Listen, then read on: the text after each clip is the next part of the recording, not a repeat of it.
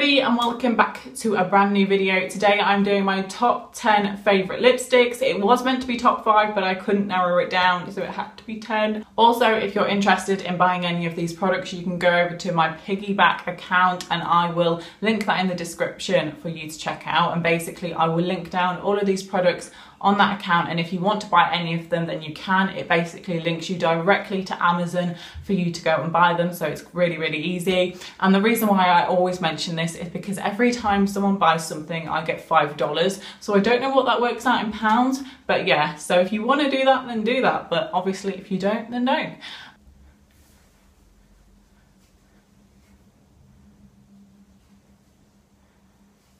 but it feels so good to be sat back down just filming a casual video because I haven't been doing that in ages. Last week I was vlogging every single day and it because it was my holiday. So if you haven't seen them, they're in a playlist if you want to go and watch them. But yeah, it's so tiring kind of not filming the videos like vlogs, but editing them every night and the upload speed was so bad. It took me like three hours and a half to upload every single video and at home it takes me what seven minutes? Um so that was not good. Anyway let's get into today's video. So the first lipstick that I'm going to talk about is the MUA Velvet Lip Lacquer. In fact, I've actually got quite a lot of MUA uh, lipsticks in this video. And this is obviously a matte liquid lipstick. I've had this for a very long time. It has a foot applicator as you can see and it applies really really well onto the lips. It is quite long lasting to be honest with you. It's one of the first liquid lipsticks i ever got and i really do like it. I still even now after over a year of having this product i still use this. In fact is it two years?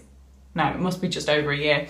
Um, i still reach for this at least once a week. It's definitely in my everyday makeup bag. I've already swatched it before and I couldn't get it off um, my hand um, because I have filmed this part before but I wasn't happy with it. Um, but yeah, so this is what the shade looks like. It's a really kind of nice kind of pinky shade. It's very kind of subtly pink but also like a really nice nude matte shade. It's something that if you're a beginner to matte lipsticks would be a really good one because you don't want anything too out there. The next one is the NYX or NYX, whatever you say, lingerie lipsticks. This is a whole collection of lipsticks and they're very good quality. This is in the shade Embellishment, I think, um, if I'm reading the right bit. Um, but it's a really nice kind of cool toned, purpley colour. Again, it's a doe foot applicator and it's just one of those lipsticks that I really like because I went through a stage where I was obsessed with cool toned eyeshadow and cool toned lipsticks and this was literally the perfect lipstick for me.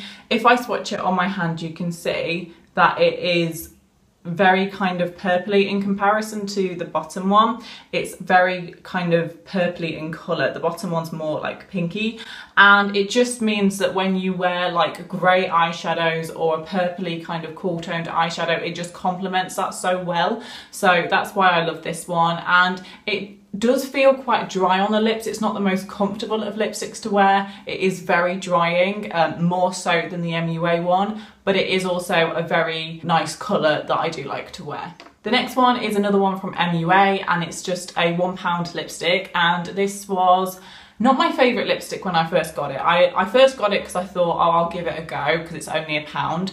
And I really liked the shade of it. And I didn't like it because the formula of the lipstick is pretty bad. Like, I wouldn't recommend this lipstick for the formula because it feels obviously dry on the lips but it, it looks matte because that's what it's supposed to be but it's also very bitty. It's kind of like not a smooth texture. It's got like bits in it um, from the lipstick not from dust or anything. Um, and I don't really like that fact. It doesn't stay on your lips very long. If you drink something or eat something then that's it. It's gone and you also can't really apply this lipstick without lining your lips because it looks weird it just kind of looks like your lips are really smudged and I don't like that so you have to line your lips but there is a little pot at the bottom for lining your lips. The reason why though I love this lipstick and the reason why I actually wear it quite often is because I'm obsessed with the colour.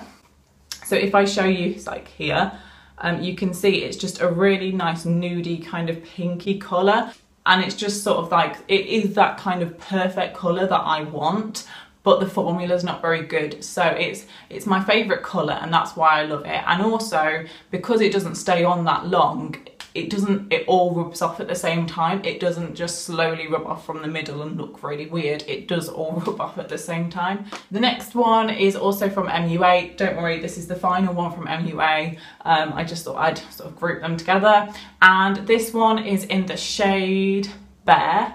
And it's a very nudie colour. The formula of this lipstick is good. So this isn't a matte one. This is just a normal I think it's a um, a velvety one. I'm not entirely sure, but it is a lot better in terms of formula.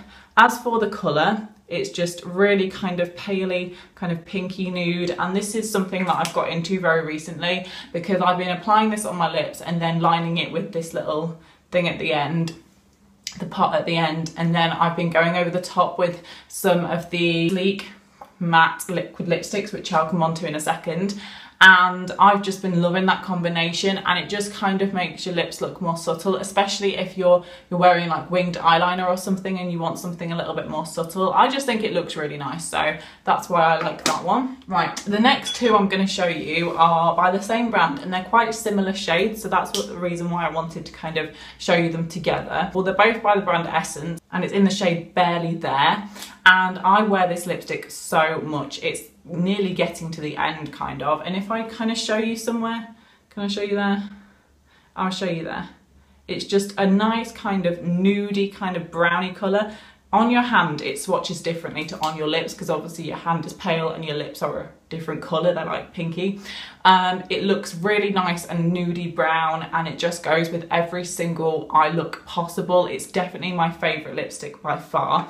The other one is a little bit darker than that and it's in the shade 28 Time for a Toffee Break.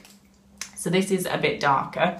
So if you compare it to the one above, so this is the, the other one, this is slightly darker as you can see. Well it is quite a bit darker so it depends what you're sort of going for. Or do you want it to be really like bam or do you want it to be more of a nudie brown? So if you're into your brown lipsticks like I am then I would suggest starting off with this one the more paler one and then working your way up to this one the more darker one. I love these two. These are my all-time favorite lipsticks now I've decided. Okay, the next one I had to mention because you know, you'd be like, where the hell is the lipstick, Georgie? And this is the Makeup Revolution Luxe Matte Lip Kit. You're probably sick of me talking about this because it was in my giveaway, because it just goes in every favourites. But I absolutely love these little kits that they do.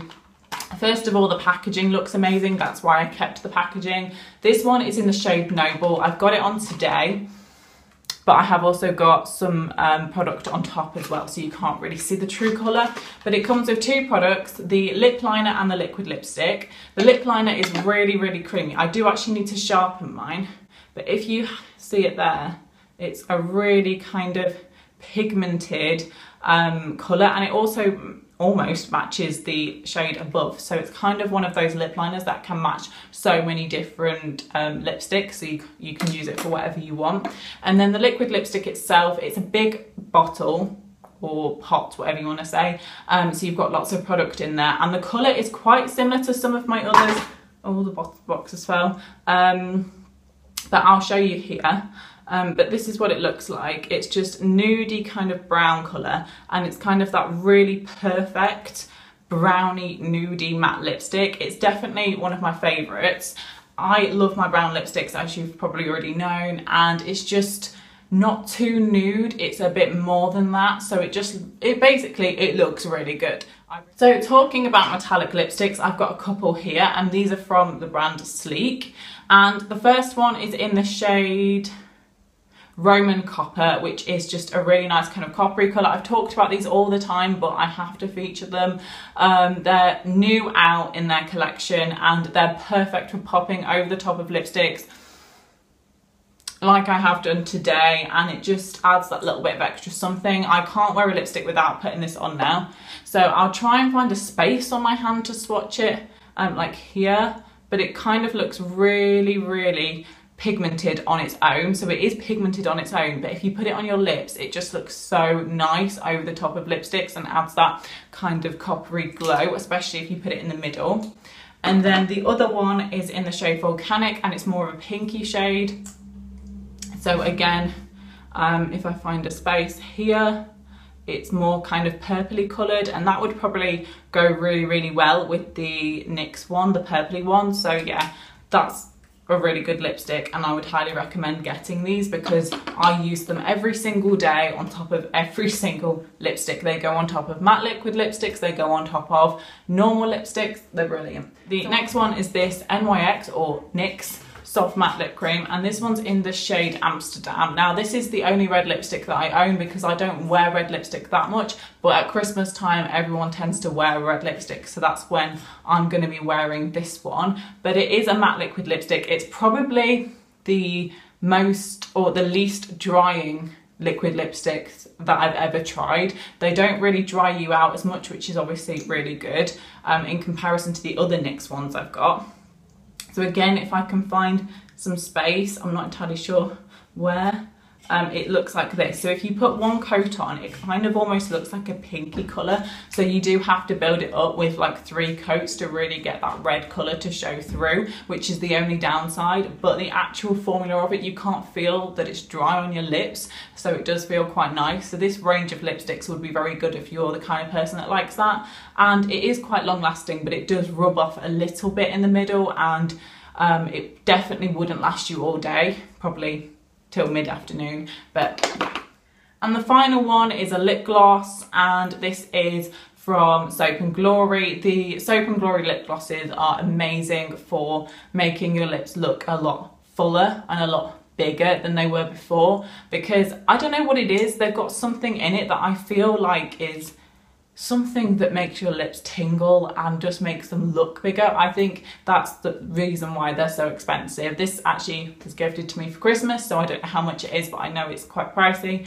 Um, but they've definitely got something in them that makes them really good. So this is definitely my all-time favourite lip gloss. In fact, it's the only one in my makeup collection that I actually use. So there we go. So if I kind of show it, you can kind of see it on its own here it looks kind of pinky, you can kind of see it a little bit, but it's got a little bit of colour to it. It's a little bit pinky um, and I don't wear it on its own because it's so sheer that you can see my foundation on my lips through it. So that is everything for my top 10 favourite lipsticks. Um, I didn't swatch them on my lips because there's too many and my lips would get really, really dry.